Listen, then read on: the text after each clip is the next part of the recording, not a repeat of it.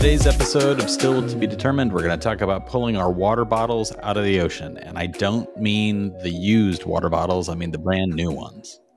hey, everybody, as usual, I'm Sean Ferrell. I'm a writer. I write some sci fi and I write some books for kids. And I'm inquisitive about things tech. And luckily, as you all know, I'm sure you wouldn't be tuning in if you didn't know this already. With me is my brother Matt, and Matt is the Matt from Undecided with Matt Ferrell. Matt, how you doing today? I'm pretty good. How about you? Happy July 4th. Happy July 4th to you as well. Today we're going to be talking about why seaweed could be the future of plastic. This is Matt's episode from June 28th, 2022. Before we get into that, I wanted to share a comment on our last episode and quick shout out to everybody who's listening. Thank you so much. We've just passed the 4,000 listener mark on this little effort of just yeah. a follow up to Matt's main channel, and we appreciate the support. 4,000 listeners is not nothing. And on Matt's main channel, he's 4,000 away from a million. So this this is the little engine that could that uh, yeah. Matt built. So congratulations to you, Matt. I'm very proud of you as your older brother to see what you've built out of literally nothing. There was no YouTube channel until you said, I'm going to make this a YouTube channel. And here we go. So congratulations to you. As a quick reminder, all of you people who are subscribing are supporting us. All of you people who are listening are supporting us. And all of you people who leave comments are supporting us. You can also support us directly by going to stilltbd.fm and click on the become a supporter button there. But if you're not able to do that, just leaving a comment like this one from Dave Yesium from our last episode. And this was the episode where we talked about lasers drilling to the center of the earth because that sounds like a great idea.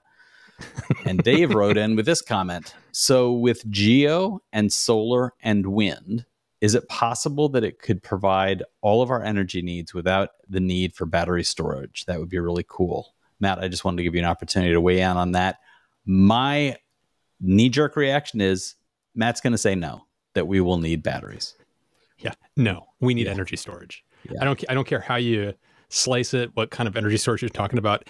Energy storage unlocks pretty much everything. So if you're talking about hydro, if you're talking about wind, like any energy that we're generating that we don't need at that time to be able to store it away to use later is going to help the entire system no matter what you're talking about. So my answer is no. We we absolutely need energy storage.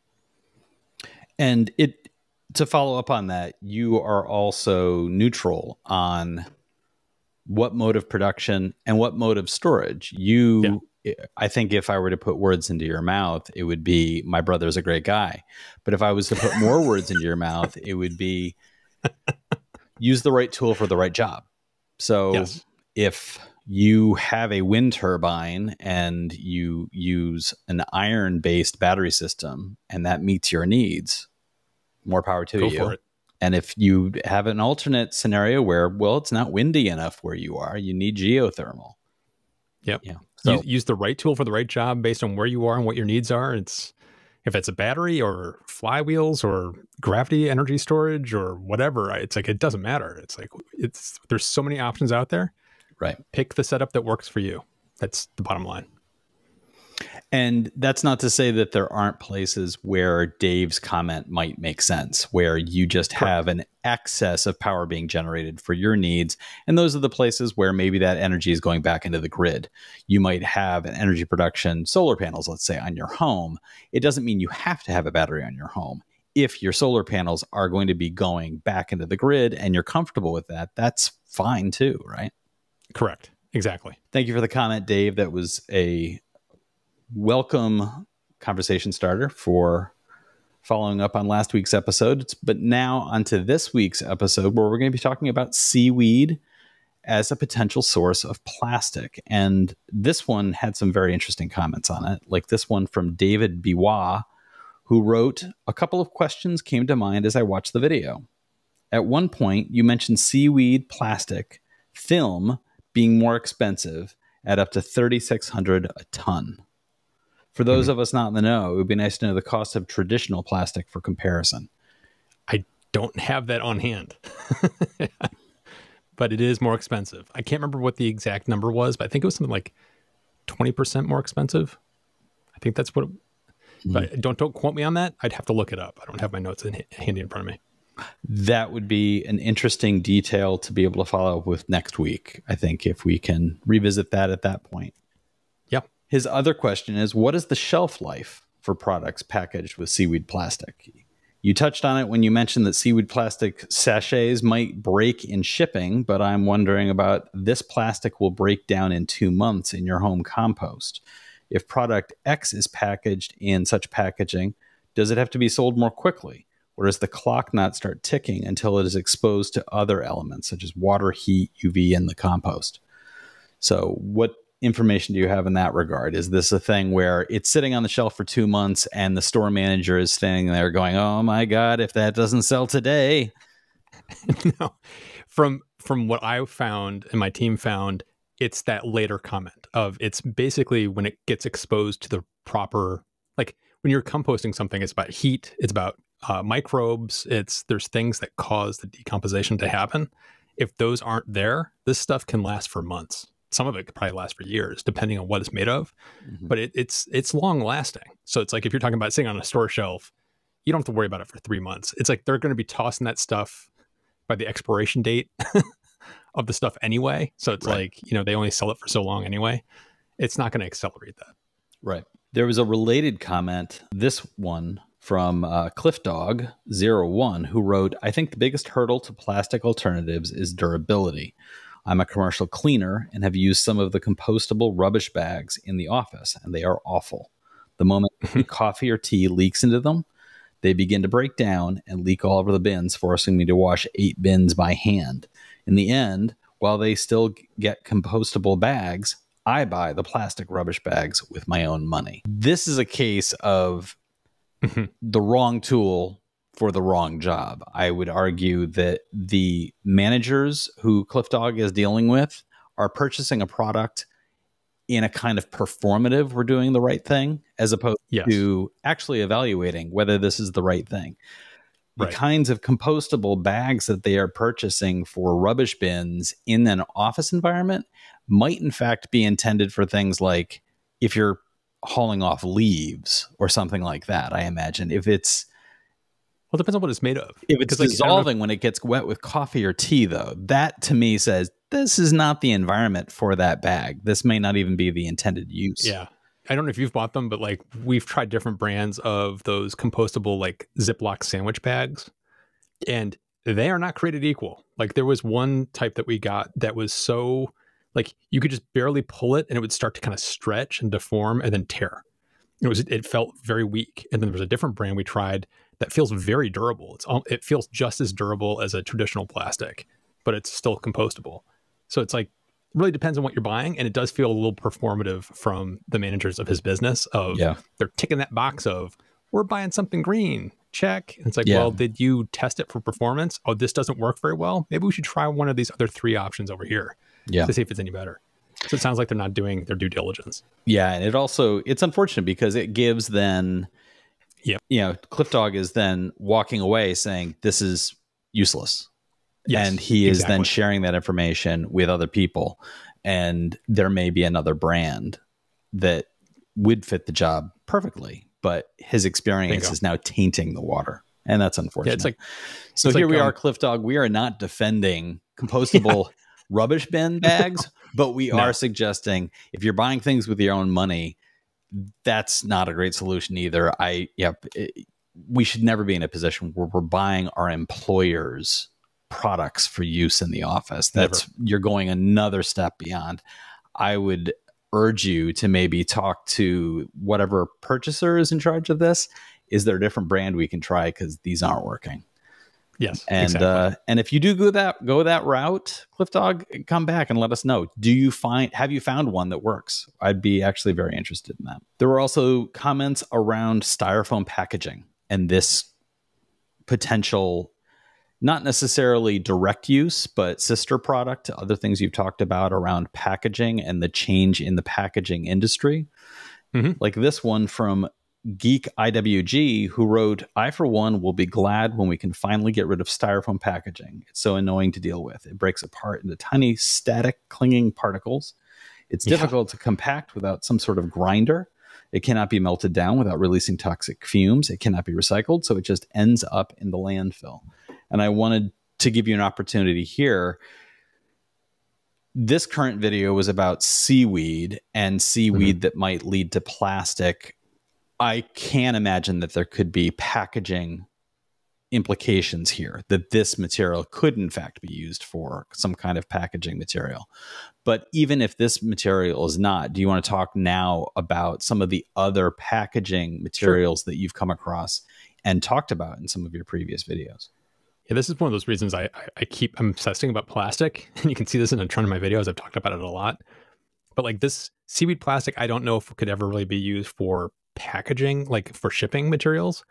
I could see it being used potentially for maybe blister packs. I don't know if you've had those recently, but i I bought some new power tools and they all came in blister packs. And I was cursing the manufacturer the entire time I was on because they cut you and they're like very yeah. difficult to work with. Can't stand that, but I understand why the industry uses it because it's so convenient. It's so cheap. Yeah. But when it comes to like styrofoam replacements, I've talked about mycelium fungus, which is the one I am like very bearish about. Um, you probably can't see it behind me, but on one of my shelves, I've got a little mycelium brick that I bought from a company called Ecovative, which is can be molded just like styrofoam and to any shape you want. And after I made that video, I have actually bought a couple of products in the months after I made that video that were using this exact product. And I was like, so excited. I was like, like, oh my God, here it is in the real world. This company's actually using this thing. That's very and cool. It was it was molded just like a traditional styrofoam, holding the product I bought, and all I had to do was t- toss it in the recycling bin, and it's going to break down in a compost pile someplace. How fantastic! I'm curious. I've got a couple of follow up questions to that. Were these products that you anticipated getting packaging that would be green? No, that's no. Nice. That's the thing. That's the thing that got me really excited. It was um, uh, Anker, um, the brand Anker that makes a lot of electronic chargers and stuff they've been doing interesting things with their plastics are compostable that they use, like the little bags that things come in now. Mm-hmm. All of their packaging comes in just recycled, very thin form uh, cardboard boxes that are very easy to recycle. But this mycelium package, I can't remember what the company was, but it was an electronics company. And it's like, I was not expecting to get this. And it's like a random company I've never heard of before, bought anything from before. And I opened the box and saw the, the mycelium packaging inside of it to protect the product. And I was like, you go. It's like, it's like you're some random little tiny company I've never heard of, mm-hmm. and you're doing the right thing here. It's pretty cool.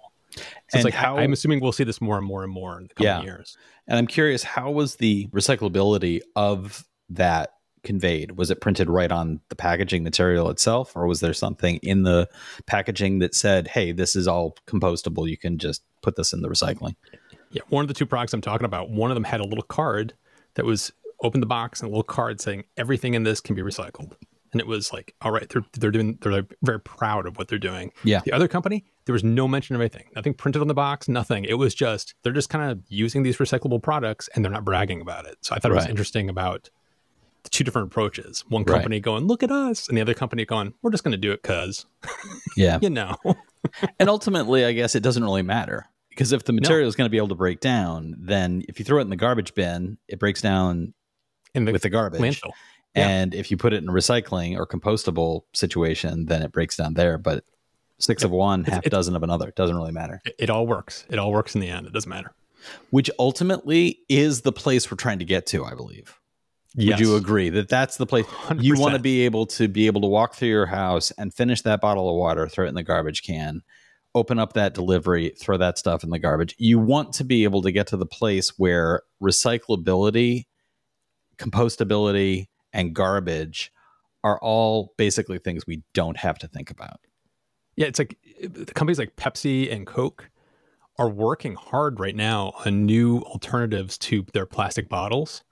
And one of the forms that are using is it uses a remnants of sugar. So it's using sugar fibers, like from the sugar cane, to produce plastic bottles. And those literally will just break down over time into right. nothing. And so it's like we're going to get there. It's just a matter of when and how long it will take. Right. But there's going to be a period where it's like we will still get these single use products, and then you can literally just chuck them in the garbage and forget about it because they will break down in 90 days right something like that they'll just slowly break down right or like this seaweed you could finish your beverage and then eat the bottle you could eat, you could eat the bottle. Which suddenly I'm having flashbacks to growing up in the 1970s and those little wax bottles of colored the, the, water yep. that we used to get that was supposed to be refreshing. They never were. They gross. were supposed to be fun to drink. They never were. And yeah. I used to convince myself that the wax that this little mini bottle was, was made edible. out of was edible and flavored. I convinced myself of this. It was like some yeah. sort of like I I am convinced this tastes like grape, and I would then chew on wax for a good five or ten minutes, trying to choke it down before I'd finally give up and be like, okay, this is just a ball of wax in my mouth. the 1970s were a dark time, people. That's what I'm trying to convey. These were we used to chew on wax. this the era that our children are growing up in now looked wildly different than mm-hmm. than what it was like to grow up in the 1970s when we were all feral, we were all filthy, and our parents didn't know where we were. So, let alone did they know that we were eating the wax that our beverages came in. But here, this is legitimately an edible product. Yep. So, I want to talk for a moment about wrapping your head around the idea that you could go to a Taco Bell.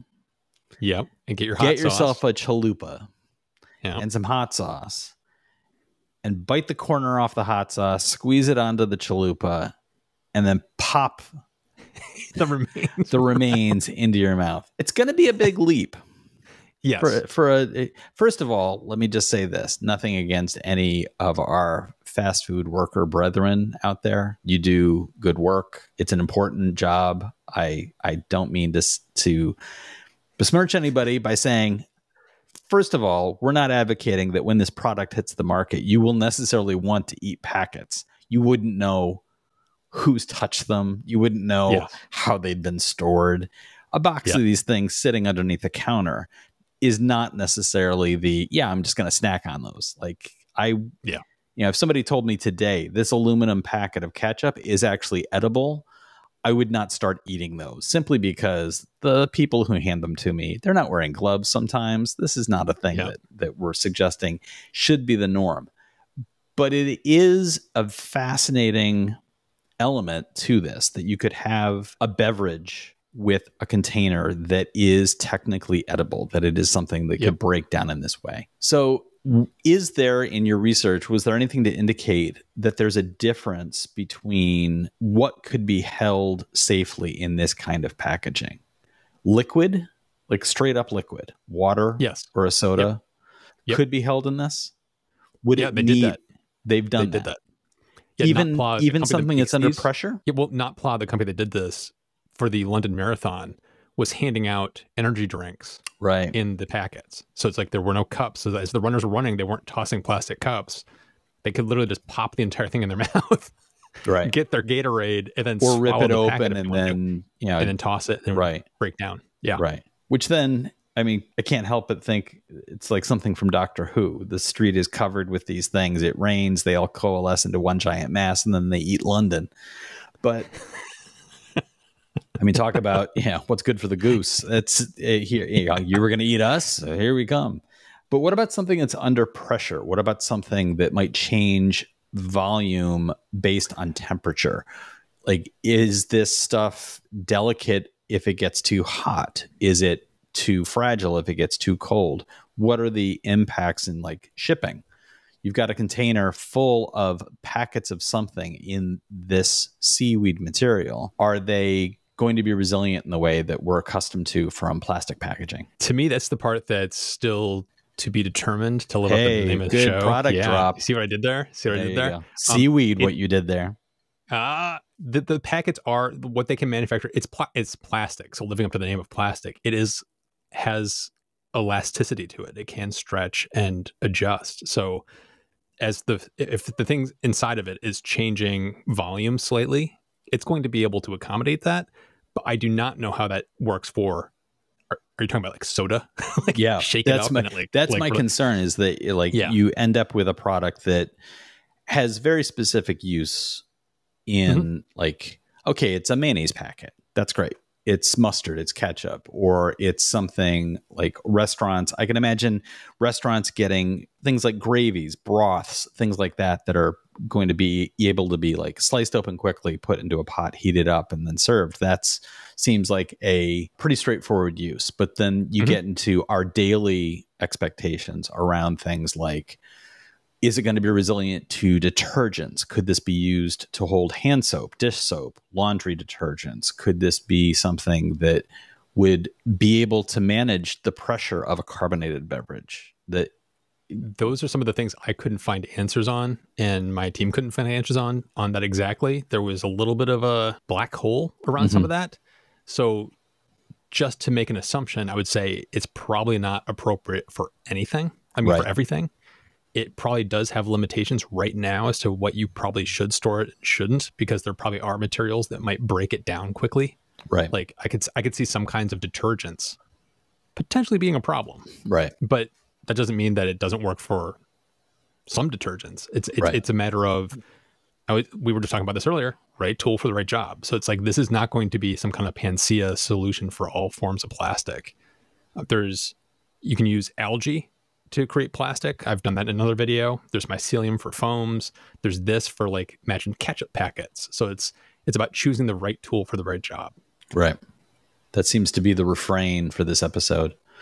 Yeah. So listeners, let us know. What do you think about the idea of edible food containers? What do you think about the idea of this kind of solution? And Matt, one last question for you. One of the comments that I spotted was that about seaweed li- limitations of seaweed, basically mm-hmm. a seaweed shortage.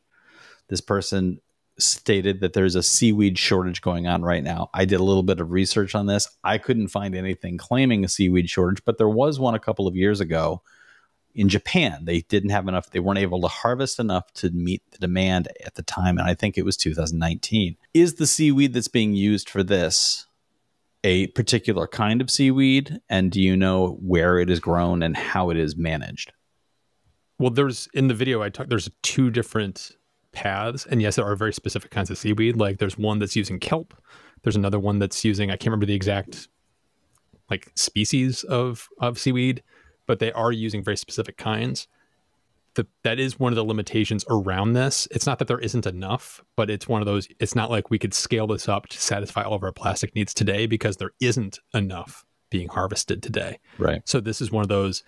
You would basically need seaweed farms that would be set up like off of shallow coastlines where you could start setting up seaweed farms to actually produce enough of this in an ecological way that's ecologically safe right to do this so it's it's going to be a slow ramp up because of how we have to ramp up production and harvesting as well. Right. So, as I said, listeners, what do you think about this? And don't forget, if you'd like to support the show, doing what you're doing right now is a great way to do that. Just listening to us. You can also subscribe. And you can also leave a review on Apple Podcasts, Google Podcasts, Spotify, wherever it was you found this show. Go back there and leave a review. We'd greatly appreciate it.